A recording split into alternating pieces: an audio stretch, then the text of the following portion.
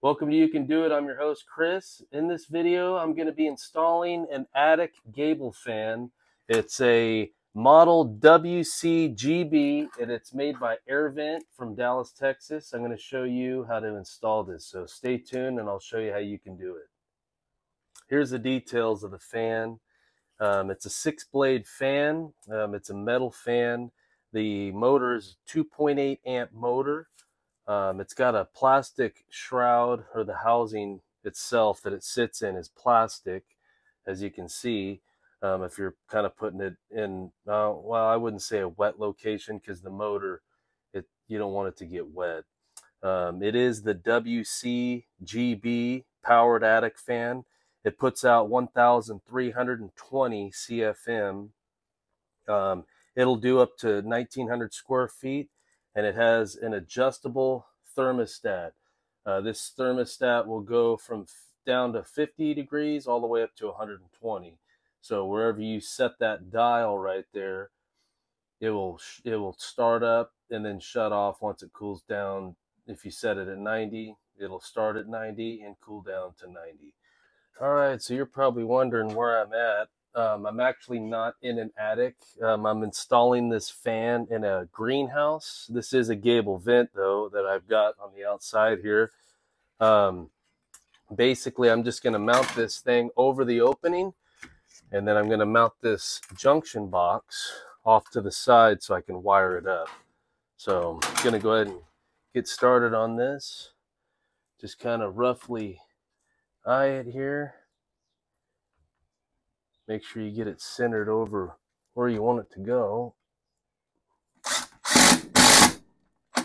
Put one screw in it up top and get it situated and screw it down. You may have to put a couple blocks in to where you have something to mount these ears, the mounting ears but four screws, it's all you need. All right, so that part's done. Now I'm gonna mount this thermostat just off to the side over here.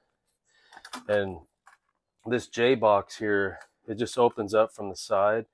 It just kind of has these tabs with these four holes. You just kind of spread it out and open it up. And you'll see that you've got a neutral, a hot, and there should be a ground screw right here. And it looks like it fell out, so I'll locate one of those. And then depending on how you're gonna wire it, if you're in the attic, you'll just use like either a Romex grommet or a squeeze connector, and you'll bring your Romex right into this hole right here. Um, I'm in the attic, or I'm actually in the greenhouse, so I'm gonna be using well, piece of seal tight flex to go down to this bell box. Um, that's what I'm going to use just so I don't have my Romex um, exposed. Got a six foot height here. So I'm going to go ahead and get my materials and I'll be back. I've got the junction box switch thermostat installed. It's mounted to the, to the siding here. So now I'm going to go ahead and wire it up. Um, I located the ground screw. It's right here. It goes into this hole right here. So I'm going to take the ground and I'm going to ground this wire right here to the ground screw. So I'm going to go ahead and strip it back. I'm going to take my strippers and I'm going to take the end here. You'll see there's like a little notch here. I'm going to go ahead and put a little hook, twist the wire down, make a hook out of it. I'm going to hook it around the ground screw right here.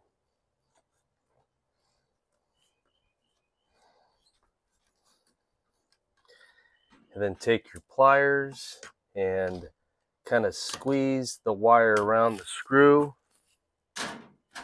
and tighten down the ground screw.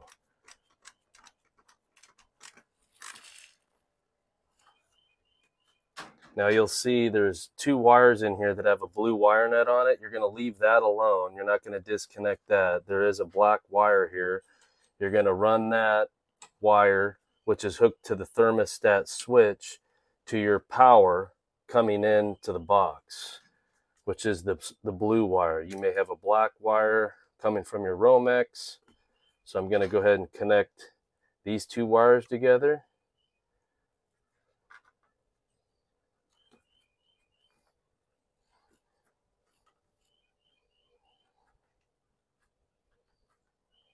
And then you'll connect the white wire to the white wire that you'll see inside the junction box as well. So we'll go ahead and strip that back and connect that.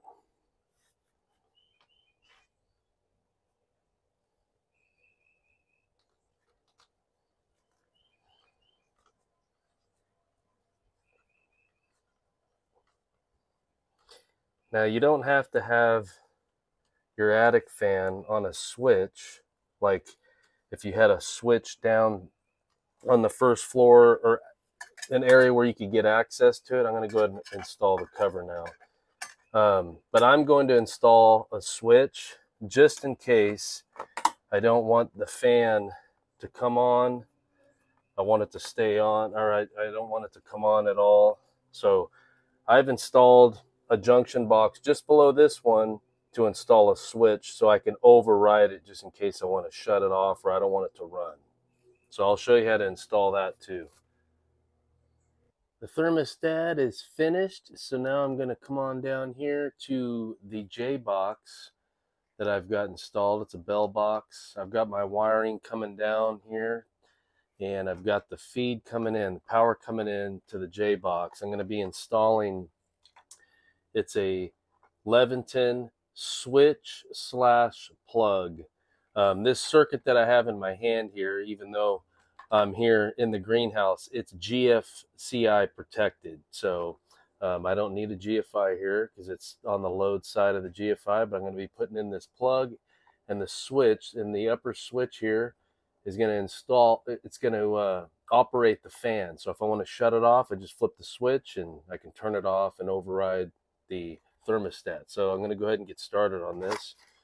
Um, I'm going to go ahead and ground the switch.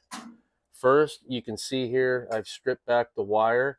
I've got the ground screw. There's a there's a little hole over here on the side of the bell box. I'm going to make sure that I ground this wire. The easiest way to do this, you don't lose the screw inside the box, is just to get the screw. If you got solid wire, wrap it around the screw so the screw stays on the wire. And then just take your nut driver or screwdriver and get it into the hole and tighten it down.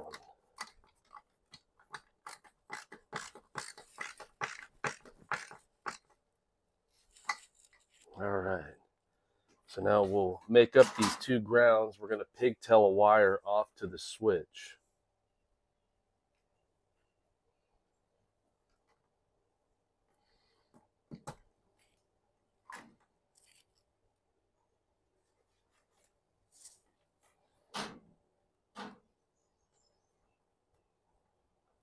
Get your wires all the way together at the end.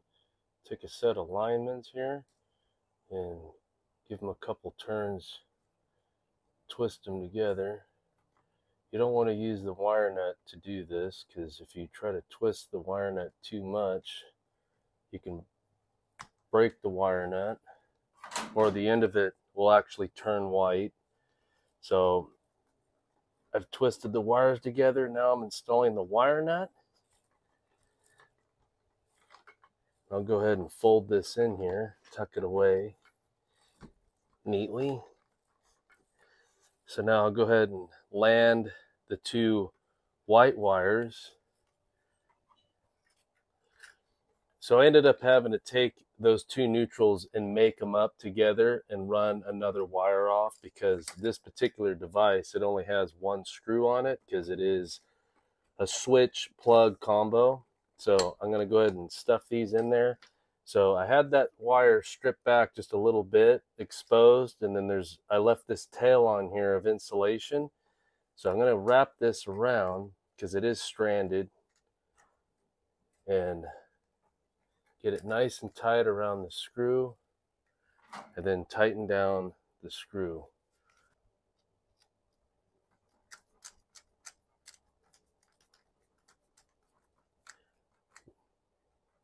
You'll probably have to take a pair of line or linemen's or needle nose and tighten this down. Just kind of squeeze it around the screw to keep it from opening up. You can use a spade connector if you want or a fork connector, but um, this usually works really well if you hold it together nice and tight and it just keeps the stranded wire from fraying out. Okay, so we got that on there. This is the switch leg. The switch leg's gonna land on this one screw and where you got this tab and the two black screws, that's the power side. That's where your power is gonna land on that. And you got your ground screw right here, which is, the green will land to the ground. This is the power source, installs here. Switch leg up here for the switch that operates the attic fan. Okay, so let's go ahead and install those wires. All right, so I've landed the wires. I got the hot wire landed. I got the, the ground landed, the neutral on the white screw, and then my switch leg going to the attic fan. So I'm going to go ahead and install this device into the bell box. Now, when you go to install it, you'll see these screws right here, how they're long. You want to make sure you don't have any wires right behind where it goes into the hole. If it's right behind here and you got your hot wire and it's folded down in here or the neutral up in here, you're going to have problems if it's on a GFI. Um, it'll cut through the jacket of the wire, give you a, a short, or, or you'll be troubleshooting. So uh, make sure your wires are out of the way of these holes, these mounting holes, or you can use smaller screws as well. So, all right, I'm going to go ahead and install this and I'll put the cover on it. Cover's installed. I'm going to go ahead and flip the switch on and adjust the thermostat on our attic fan. So it's set at 120. You can take a flathead screwdriver, stick it into the slot, and just turn it to your desired temperature. It's probably about 80 degrees in here right now. So I'm, well, it's probably 85. So just kicked on. It's nice and quiet. You can see it there. I can feel a breeze pulling through, so it's working really nice, nice and quiet. So that's pretty much it. It's pretty easy to install. Um, if you're the hardest part is if you're in a real tight area in your attic. Well, I hope this video helped you so that you can install your own attic fan. Thank you for watching. You can do it. Stay tuned for the next video.